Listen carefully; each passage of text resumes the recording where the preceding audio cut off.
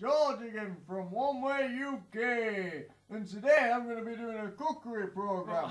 No, George. What? No, not a cookery program. We're going to do something on the Easter teaching sets. What have I got that crossbun for then? Well, well, that's one of them, George. Alright, what do you do with him? Well, we use the hot cross bun puppet to tell the story of Easter using things like the yeast, the cross, the raisins, and all those different things. Alright, is that why I've got a script, is it? Yeah, so you get a script and chocolate hearts and handouts as well. Alright, well, what about the egg? Well, the egg's similar, but we use all the different colours of the ribbons. Can you see them, George? Oh yeah, these ribbons. So I they thought it was his hair. Yeah, yeah, so they represent the different parts of the story, whether that's Palm Sunday, the resurrection, or heaven.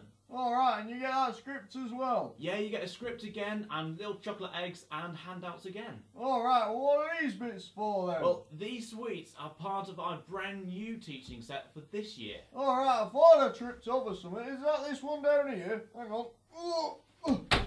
Yep. it's So that, heavy. eh, he looks it, doesn't he?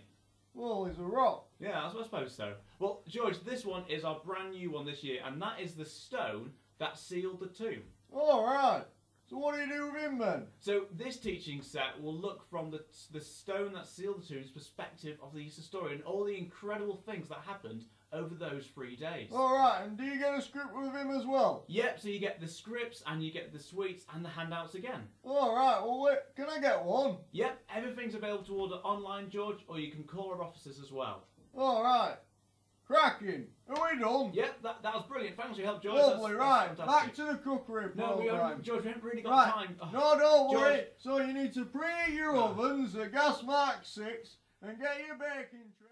And then you get your bread dough and your sultanas and your raisins and we're going to make a hot cross bun. Are we done?